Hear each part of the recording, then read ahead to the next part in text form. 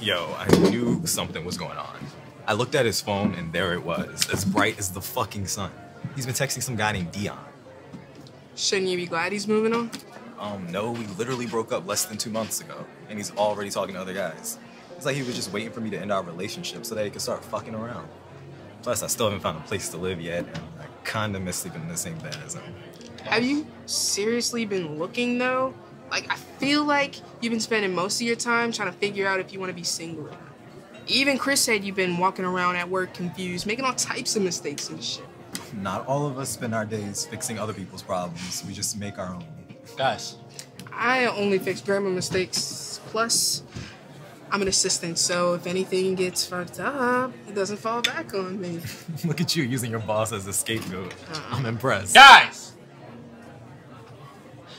Brenda's pregnant. Brenda's pregnant? This is not green tea shot. It's tequila. How long has she been pregnant? She's two months. Are you serious? Well, I'm not fucking joking. She's been keeping it from me. You normally don't do that anyway.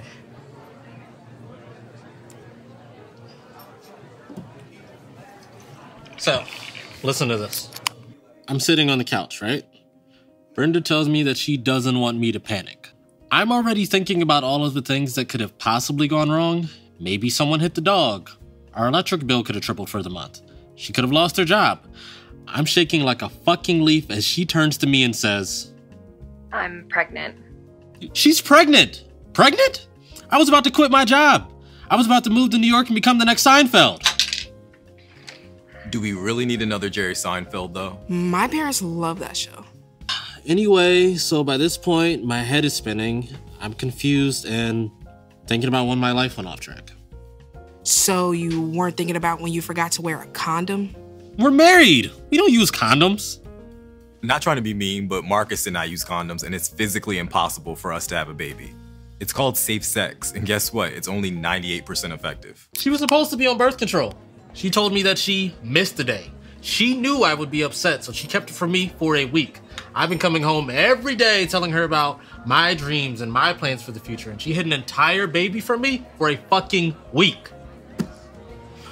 I know you're upset, but this is a baby with your wife we're talking about here. You both love each other, you're both financially stable. Things could be a lot worse. Yeah, but I wasn't ready to be a dad. I was ready to start doing comedy again. Damn, Brenda's got a baby. Say that again. Brenda's got a baby. I heard Brenda's got a baby, but Brenda's barely got a brain. A damn shame. The girl can hardly spell a name. Jesus, you two are the worst people to announce pregnancy to. I know somewhere deep down inside you want to hear this, so I'm gonna say it. Congratulations. You're gonna be a daddy.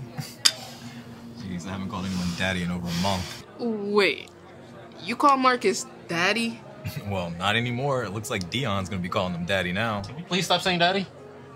He's got another thing coming if he thinks he's gonna fuck some other guy in our apartment while I'm around. I'll be damned. So you're having a baby and you're losing a daddy. To our dysfunctional family. I'll drink to that. Now you just need to propose to mommy. You wish. Yeah, I'll cheers to that.